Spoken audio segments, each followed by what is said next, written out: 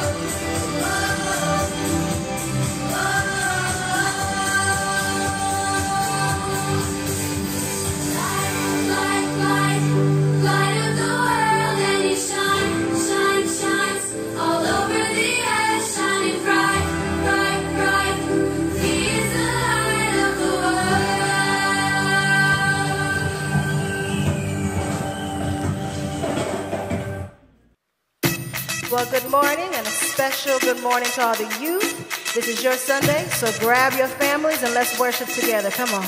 Let it be known that our God saves, our God saves.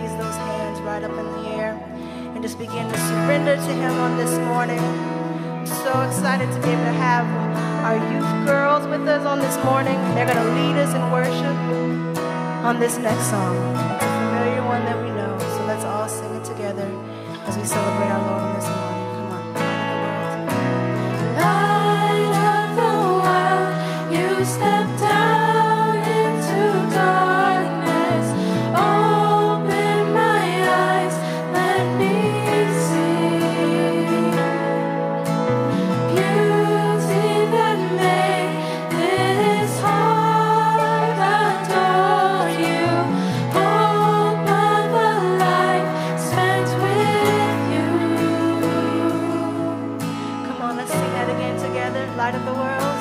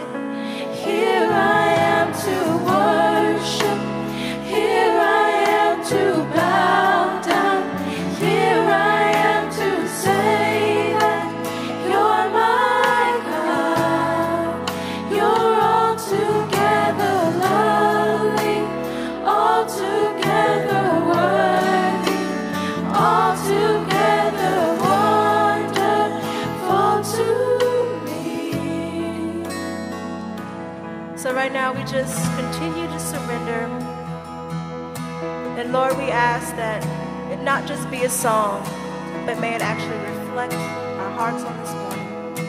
And we've come here to worship you because you're wonderful and you're lovely.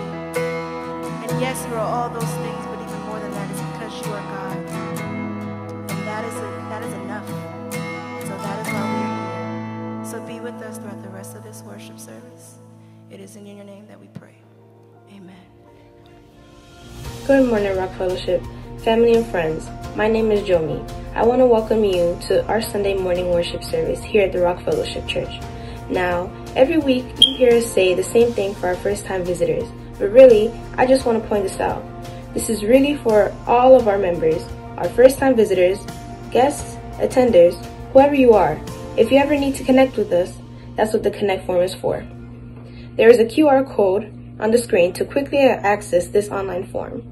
What you can do is get your phone, scan the QR code, and that'll take you directly to the Connect card where you can put in your information, your name, your email, and just any type of comments, questions, prayer requests, or anything that you need to communicate with us to the church.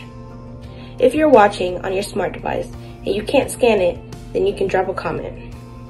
Whether it's Facebook or YouTube, however, however you need to get into contact with us. We want to be able to connect with you, especially our first time guests. I just have a quick few announcements for you. First of all, we will continue to do our midweek Bible study at 8 p.m. Upcoming, we have the Back to the Basic six week study on some of the basics and foundations about the Bible. We're having a great time in discussion each week on Zoom, so join us this Wednesday as we dive into the Word together.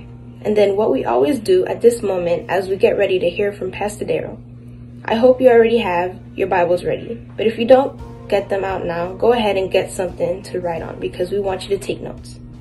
There is a QR code here as well that takes you to our paperless bulletin online that can also be accessed on the church website at rockfellowshipfl.org slash bulletin. We want you to pay attention and really dive in and listen to what Pastor Dara has to say. So clear your heart and clear your mind and let yourself be prepared to hear what the Lord has to say to you this morning. Hey, good morning, Rock Fellowship. What a great worship. What a great time to lift up the name of Jesus, to sing, to open up our hearts in worship and song. And for some of us, making a joyful noise to the Lord. I know we all can't carry a tune like we may wish, but the Lord hears our praises and He is pleased because we're doing it in faith. And I'm excited for this fifth Sunday. This is our family worship Sunday. We see our youth more involved in this online experience.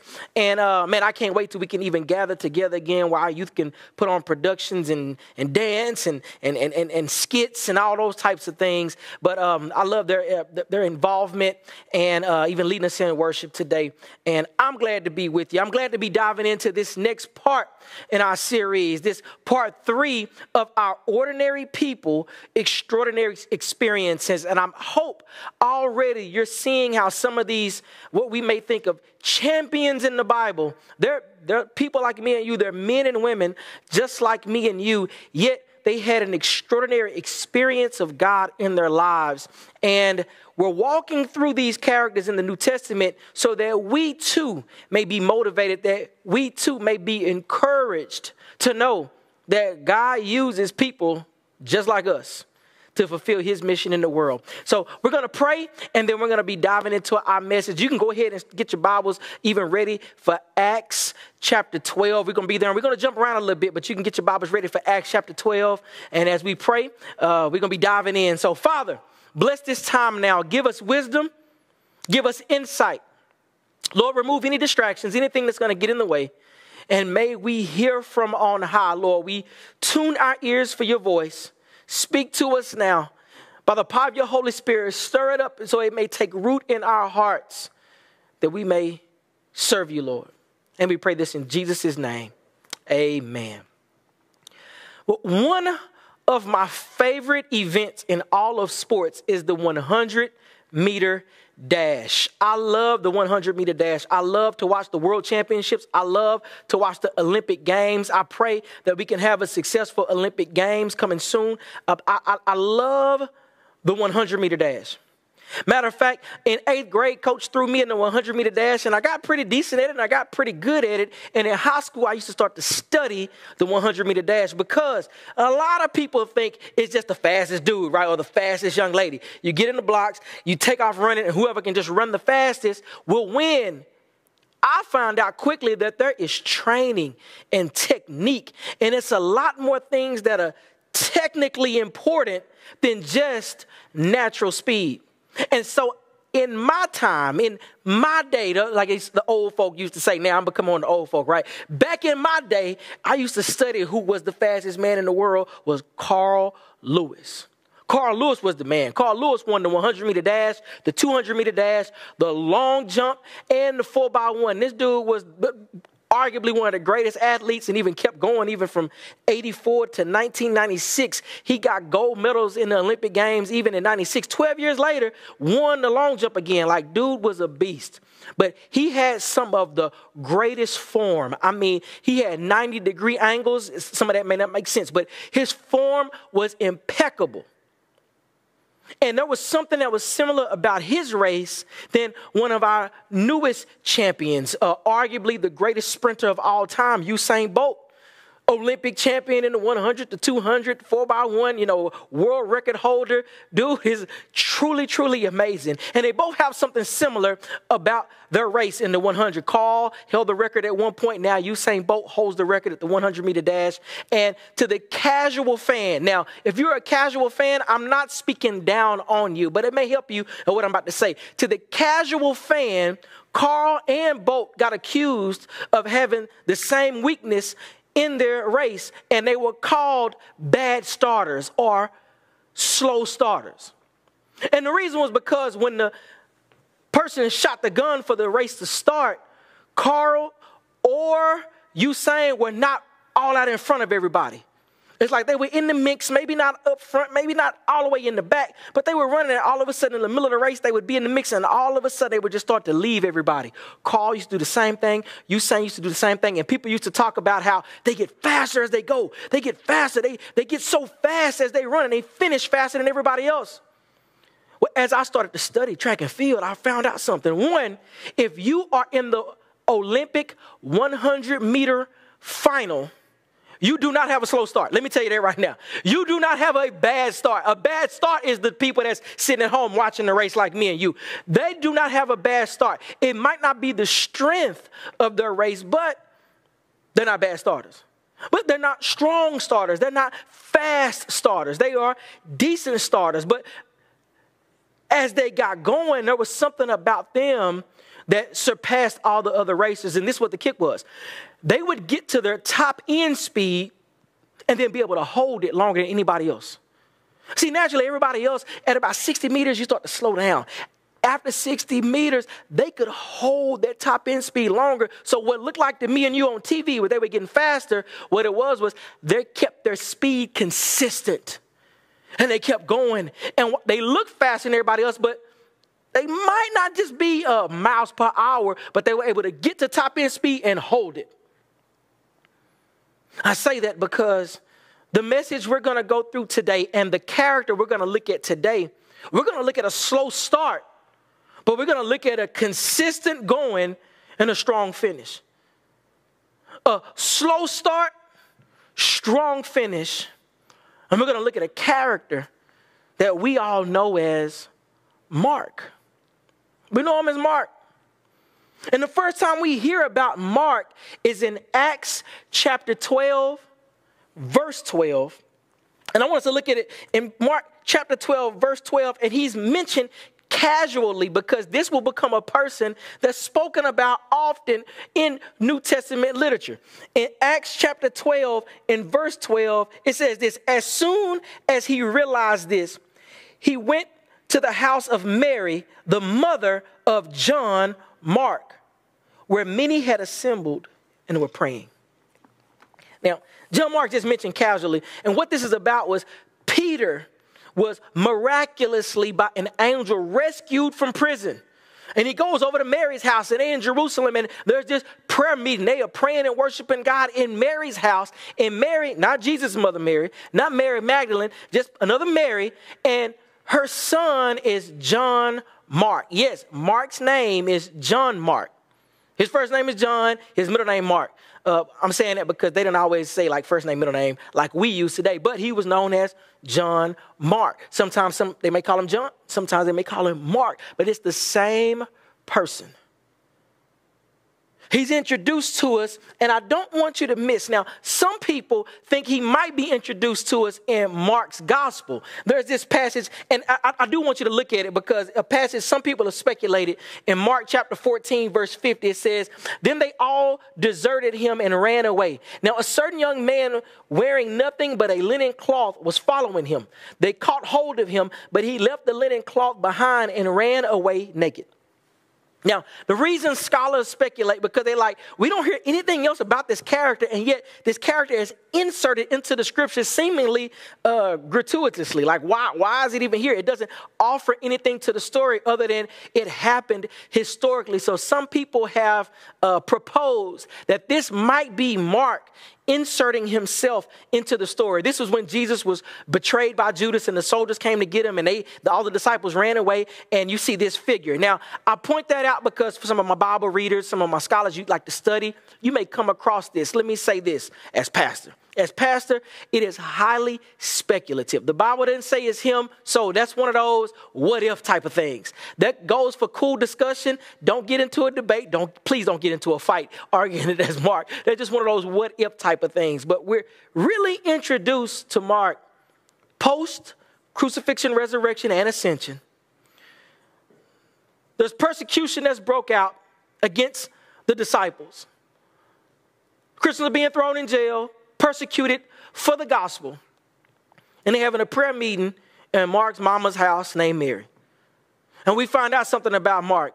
He come from a believing family. He's a Jewish young man whose mother, we know right off top, is a believer. She is a Christian. She is a follower of Christ. She believes that Jesus is the promised Christ of the Old Testament, and they have believed him to be Lord and Savior. That's Mark's situation.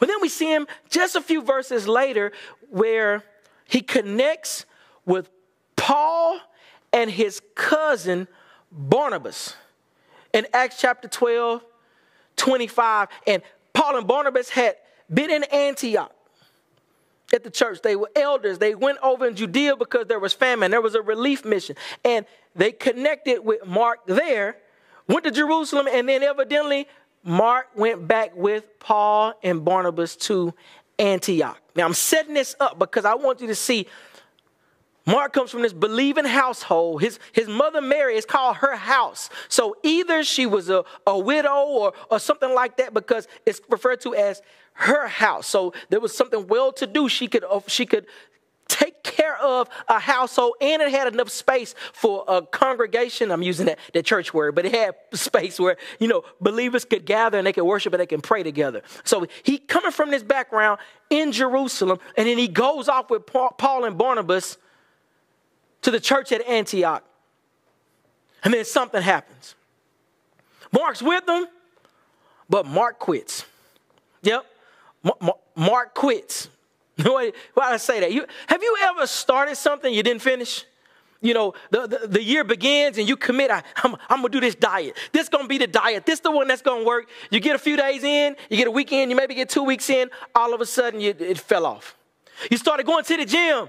I'm excited. We're getting the gym. This, this is going to be the time. And after you get that membership, you start going to the gym. You're working, you're sore. You, you think you're feeling good. You're sweating. You're going day after day, couple of weeks. By February, mm, might fall, fall off.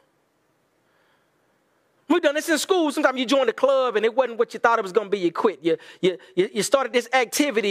You started this sports team and, and you found out it, it, didn't, it, it, it didn't, it, it didn't work. Well, something happened during this time because in Acts chapter 13, it says that the Holy Spirit came. They were praying, they were fasting, the church there in Antioch, and the Holy Spirit set apart Paul and Barnabas and this was the start to kick off what's known as Paul's first missionary journey. Paul's first missionary journey, and it's approximately AD 46 to 47 when they were set apart they were sent to go out to take the gospel beyond. And Acts 13, verse 5, it says,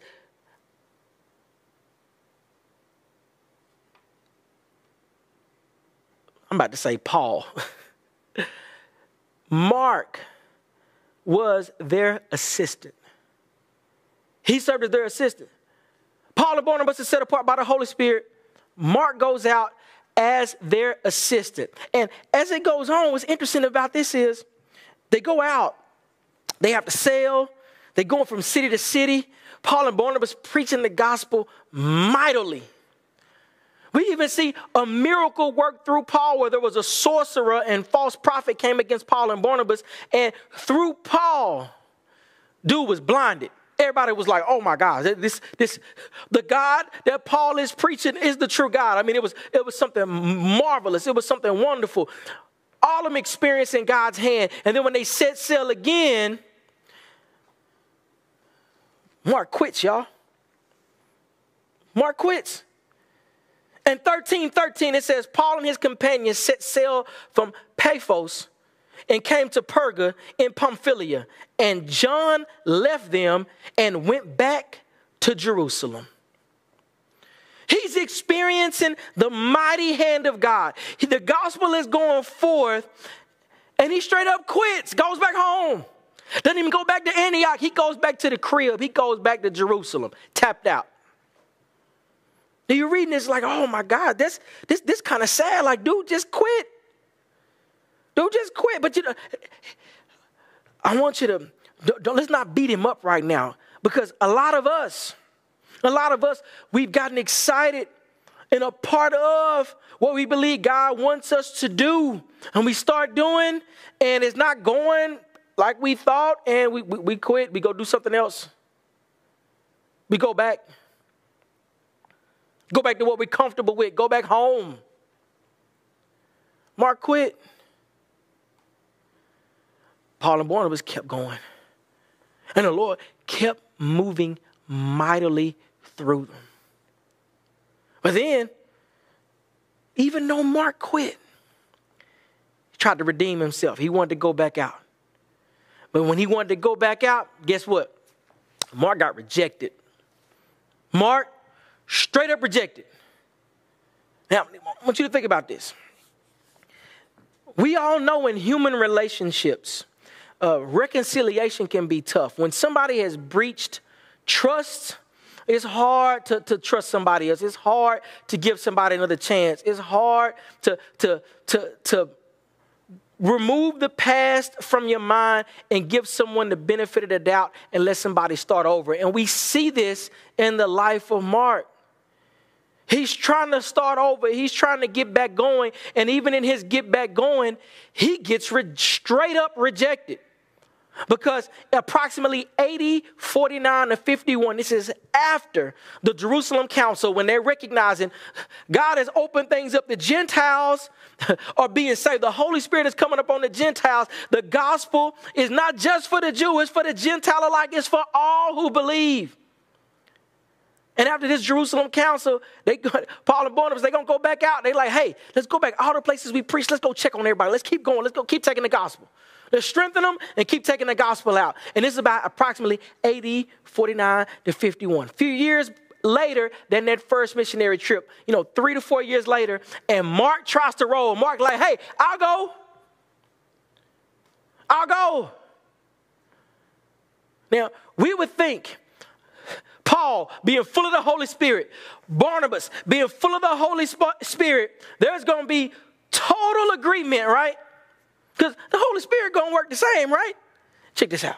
In Acts chapter 15, starting at verse 36 through 41. I want us to read this together. It says, After some time had passed, Paul said to Barnabas, Let's go back and visit the brothers and sisters in every town where we've preached the word of the Lord and see how they're doing. Barnabas wanted to take John, who was called Mark, but Paul insisted that they should not take along this man who had deserted them in Pamphylia and had not gone on with them to the work. They had such a sharp disagreement that they parted company. And Barnabas took Mark with him and sailed off to Cyprus. But Paul chose Silas and departed after being commended by the brothers and sisters to the grace of the Lord. He traveled through Syria and Cilicia, strengthening the churches. Now, I, I want you to sugarcoat this. Paul and Barnabas, full of the Holy Spirit, Christians, committed to Christ, committed to the work of the Holy Spirit, had a disagreement where they went separate ways. You be sitting there like, hold on, how, how is that possible? How is that possible? We're gonna see God, God works in some ways sometimes we never imagine. When we talking about Mark got rejected, Paul, and the disagreement was this, Paul was like, and let's use today's vernacular. I can't trust this dude. He deserted us. He quit. Why would we take him again? He is a quitter. Nope, he ain't rolling with me. And Barnabas was like, no, he's coming. He my cousin. Now I don't know if that was the argument, you know, uh, but he was his cousin. But he was like, it's one of the things I love about Barnabas. We're gonna look at him is he was a man that wanted to, to restore people. He went and got Paul when nobody wanted to deal with him, and now Paul don't want to deal with Mark. And here Barnabas won't let him go. And the disagreement is so strong that Paul goes on one way, Barnabas goes another way, and Barnabas takes Mark. Paul says, Silas, you my road dog now. You come with me. They roll out and they go and do ministry. And in Acts, we don't hear about Mark anymore. The rest of the book is really chronicling the work of the Holy Spirit and the move of the gospel primarily through Paul. And we see Paul and Silas continue to do a mighty work. Now, I want you to pick up on this because God continued to use Paul and Silas in a mighty way. Even though Paul rejected Mark. Now, it might seem like when you're reading this initially that Paul was the one in the right, not Barnabas, because Paul rejected Mark because Mark was a quitter. He wasn't going to take a quitter back out. He's, he ain't got the stomach for it. He not really committed to the Lord. I need somebody committed to the Lord. And they go on and we see the Holy Spirit do marvelous things. And you, we can sit there and read that and be like, Paul was totally in the right. And I say, yes. And so was Barnabas. Because some things start to happen through the course of church history that Barnabas's investment in Mark helped turn the world upside down through the ministry of this young man we're introduced to in Acts 12 named John Mark. They had this sharp disagreement, and I say this because there are times based off of our start or starting out in serving the Lord and we quit that all of a sudden we feel like we can't get back on track. You know, now, now, now Mark didn't leave the faith. He didn't go out to the world. He just quit on the mission that God had, had, had sent him on. But what I want us to pick up on is this. If you've had a slow start, if you've reneged and turned, turned from what God has called you to be doing, if you still got breath in your lungs, if you have life in your limbs, there is another opportunity for you to get back on track and fulfilling the mission and purpose God has for you. So if you feel like God is done with you because you messed up, don't be fooled with that. No. And you're going to see why I tell you this. You're about to find out right now why I say this. Because we see something that happens in Mark's life and it's because of Mark's constant faithfulness. Constant faithfulness. One of the things that anytime, anytime anyone has breached trust, if you've gotten a bad reputation, the only way you can overcome that is that you continually to show yourself trustworthy. And it's going to be over time. You continually to show yourself faithful. You continue to show yourself a hard worker. You continue to show yourself as getting the job done. You continue to show that people can place their confidence and trust in you. If you've messed up before, if you've backtracked, if you've quit on the Lord, the Lord's not done with you. Get back on track.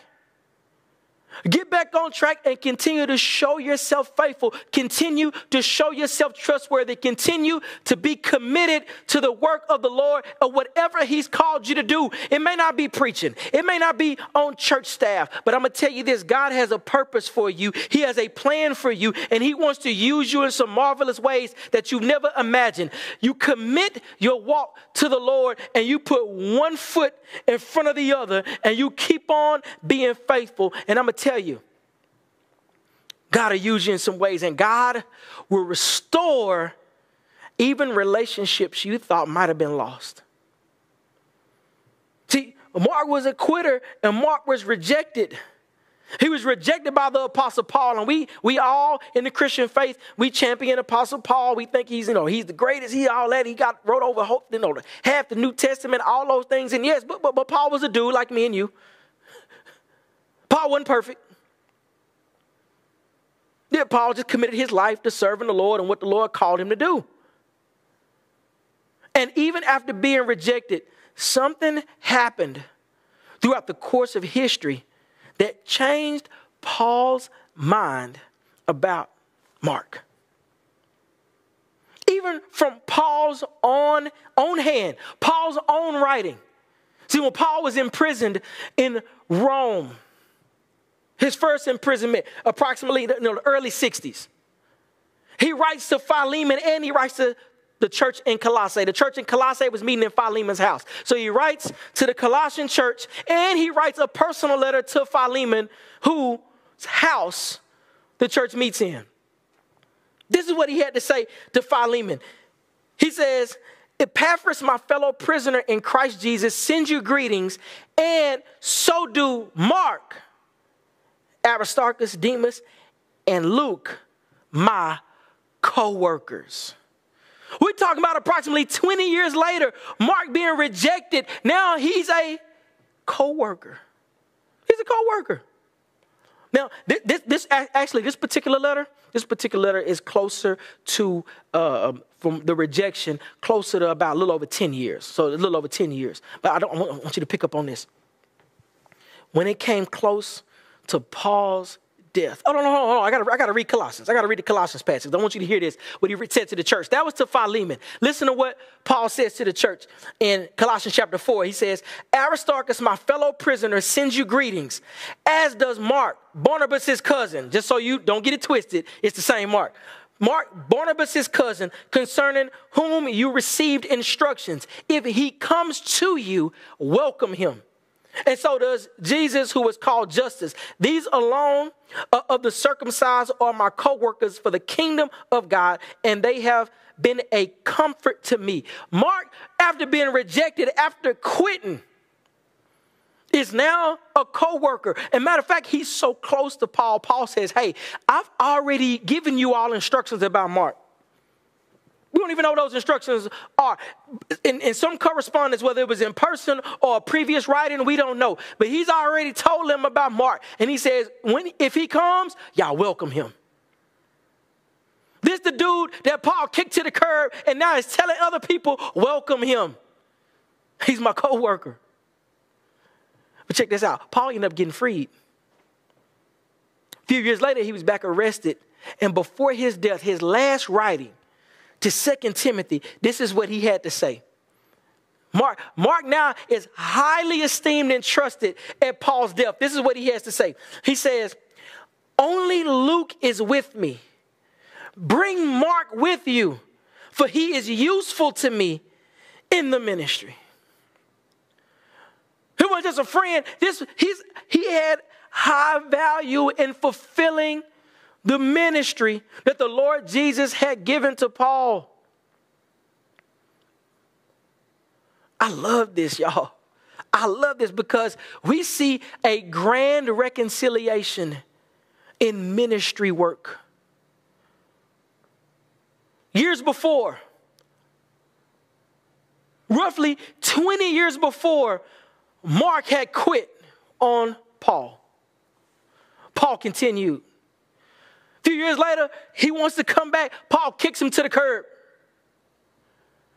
But in between time of the writing of these letters and the kick to the curb, we see there's a change in Mark's life. And Mark has done whatever he has done to cause a confidence in himself and a commitment to ministry where the apostle Paul is writing such words. But it doesn't just end there. It's not just in Paul's eyes, but also the apostle Peter. I want you to look at what Peter had to say about Mark. This same Mark, this cousin of Barnabas, whose house, his mama's house, Mary in Jerusalem, where the saints were praying when Peter came in. This is what Peter has to say. In 1 Peter chapter 5, verse 12, it says, Through Silvanus, a faithful brother, as I consider him, I have written to you briefly in order to encourage you and to testify to this is the true grace of God.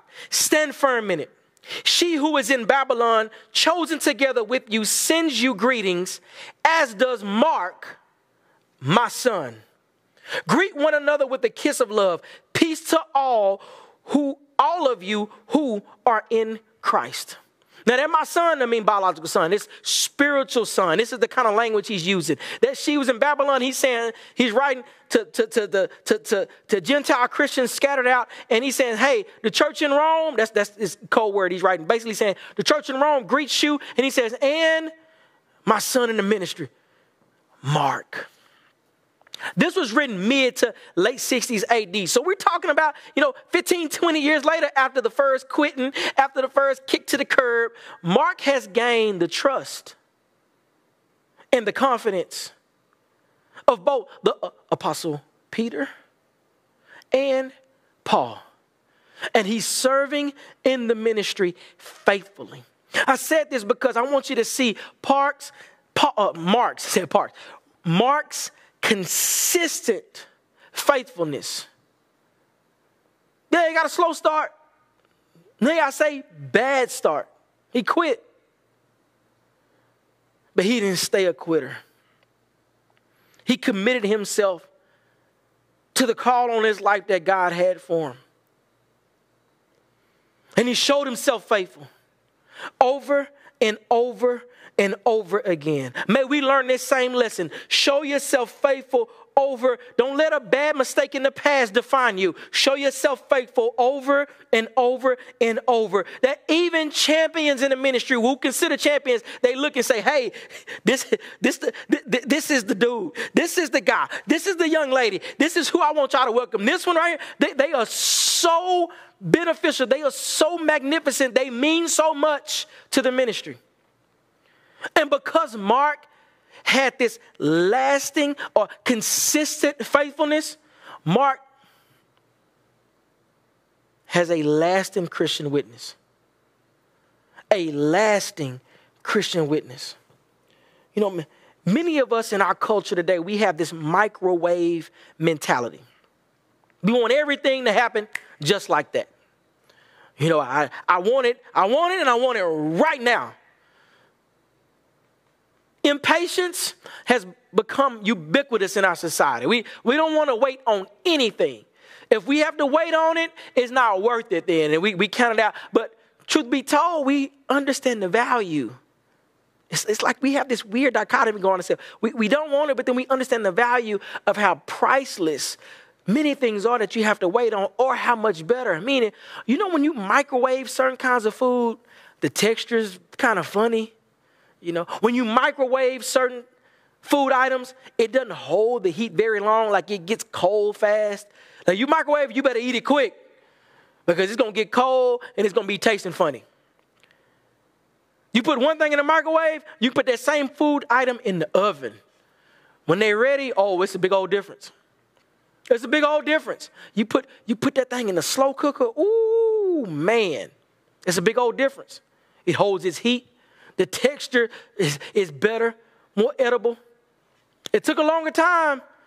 It, was, it, it took long, but that consistency in that time proved to pay off. We understand that when it comes to, to, to food items, and I'm talking about microwave, but even it's even more so when it comes to the life Christ has called us to live. A lot of times we say yes to Jesus and we want this microwave type of relationship with Christ and this microwave impact for the sake of the gospel, this microwave impact when it comes to ministry.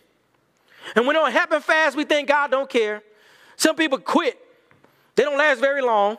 I remember going to seminary and he told us that in the next five to 10 years, less than half of this class is going to be still in ministry. I was like, no way we paying for these classes and y'all going to quit. Professor knew exactly what he was talking about. It was so true. We want this microwave thing, and yet we see over time, Mark showed himself faithful to get the commendation and support and the, the well words spoken of from Paul and Peter. And guess how else God used Mark? He's spoken of highly in these writings, but also he's responsible as the writer of the Gospel of Mark. One who quit at the beginning of serving in ministry, one who was rejected by a champion in the faith early in ministry, showed himself faithful, and now has a lasting witness that even today we read his writings. And many consider Paul to possibly be the very first complete gospel of the four gospels we have. There is evidence that it's even possible that Matthew. And also, Luke may have even used Mark's gospel as a reference as they wrote their gospels. Mark has this lasting witness. And we see even the church historians, just a, a, couple of centuries later, you got Papias being recorded in Eusebius's church history and talking about how Mark rode with Peter, and much of Mark's gospel is the reflection of Peter's preaching and teaching. Now we know that because Peter calls him his son and with him in Rome. Mark didn't quit. Yeah, he might have quit early, but he didn't stay a quitter. He came on back, and even when he was rejected and saw to be unfit to serve the Lord, he continued. One of them, Barnabas, his cousin, believed that God could do something through him, and he goes on to make an impact on the world that rings into eternity. He has a written gospel. So we look at Mark's life, and Mark's life can be a huge reflection on us. Because some of us may think that, well, God don't want to use me anymore. Let me go on, just gonna go over here and, and, and make a life for myself. Let me tell you something. If you got breath in your lungs and life in your limbs, God can use you. He can still use you. And don't get caught up with that, that microwave type of thinking. The thing is, I'm gonna make the impact now. No, we learn from Mark. There's a constant faithfulness that's seen. And that constant faithfulness, you never know how it's gonna turn out. You never know how it's gonna go. You know, you, you don't know. You may be doing something you may think is meaningless. And yet it's preparing you to fulfill whatever call that God has for you down the road. Just be constant. Constant faithfulness. Constant faithfulness. One foot in front of the other. You know, we, we actually seen this in a, in, a, in a movie that's been remade and now, and not rebooted, but continuation. You, remember the Karate Kid? When he wanted to learn karate? And his sensei, Mr. Miyagi, instead of teaching him karate, he had him sanding floors and, and, and waxing cars and he had him painting fences. And he like, man, you out here wasting my time. I spent all these days, all these hours. My shoulder hurt. I'm sore. I'm all this. And he didn't know. And all of a sudden, Mr. Miyagi started throwing punches and kicks. And he's like, ah, yeah, yeah. And he was just blocking all of them through that constant work, he had built up muscle strength and technique to defend himself at a high level. What seemed to be meaningless was actually meaningful, and it came with consistency. And we know that about martial arts. We see this in Mark's life when it comes to serving the Lord. That consistency. Don't seek to be great, seek to be faithful. And yes, if you had a bad start, no sweat it. If you have a slow start, don't sweat it. Be faithful. And God will use you in ways you never imagined. And you can have a lasting impact, a lasting witness like Mark. Now, I'm not telling you you're going to write a gospel. That's not what you're going to do. But what you will do is continue the mission and spreading the good news of Jesus Christ to the ends of the earth. Amen. Let me invite you to bow your head with me right now. Father, thank you for the witness of our brother Mark that even with a slow start, even with a bad start, even with quitting on you, Lord, he was quitting the ministry, went back home. He didn't stay a quitter, he got back in the game. And he consistently and constantly served and became a lasting witness. So, Father, may we learn this lesson. We know you're not giving up on us. May we not give up on ourselves. Lord, we commit our, our hands to your work, whatever it is, whatever it looks like. And Lord, we want to be used by you for your glory. So if we get rejected by some, Lord, may we not fret. If people don't want to work with us, may we not fret. May we just seek to be pleasing to you and serve you where you have us. Who knows what may happen in the future? But we know you know. So, Lord, with, by your grace and by your mercy, give us what we need. Continue to provide for us. Stir up the gift you placed in us. By the power of your Spirit, Lord. And Lord, we commit to walk out the purpose you've given us. And we pray this in Jesus' name. Amen. Well, family, if you prayed that prayer and you commit your life to Christ, I want you to, I want you to drop, I want you to drop a note in the link. I want you to drop a note in this link. And on this link, I want you to share with us what, what do you believe God is calling you to do? And we want to pray with you. We want to pray for you. If you're someone, you're watching this and you say, I, I want to commit my life to Christ. I, I, I want to serve the Lord. I want to know Christ. I want to know the, the forgiveness of sin. And I want to, I want to know that I know that I know I have eternal life because he has promised, because he died for me and rose for me. If you're committing your life to Christ in that same link, please fill that out. If you're saying, hey, I want to know more about what it is to follow Jesus, I want to know more about what all this looks like, on that link, please fill that out right there. We will follow up with you. The, one of the major purposes of the church is that we walk together as we grow as disciples. And we want to do that as the Rock Fellowship. So please fill out that link and we'll follow up with you. Myself, one of our other leaders, Pastor Ryan, Minister Jimmy, one of us we'll follow up with you and we'll answer any questions. We'll send you a Bible if we need to. Whatever we need to do to help you in your walk, that's what we're here to do. Because we love Christ and we love you. Amen. Well, hey, as we close out, one of the last things we do is worship in giving. And this is an opportunity for us to show our gratitude and our appreciation and even our, our, obedience to the Lord that He's our provider. Everything we have belongs to Him, and we give a portion, we give a percentage of that back to Him so that the ministry may be fulfilled, that the mission of God goes on. And so we have the options to give. We have a QR code that's right here on the screen as well. And it takes you to rockfellowshipfl.org slash give, or you give online, but that QR code takes you right there. And we have a Cash App as well, where you have the Cash App handle Rock Fellowship FL. You can go there as well. And uh, we also have a P.O. box. Uh, no, no, no. I'm to give you the text to give. I'm to give you the text to give 786 um, uh, 383 no, sorry, 786 686 3383. 786 686 3383. You can text to give right there. And then we, we also have the P.O. box if you want to mail in. And thank you for your generosity.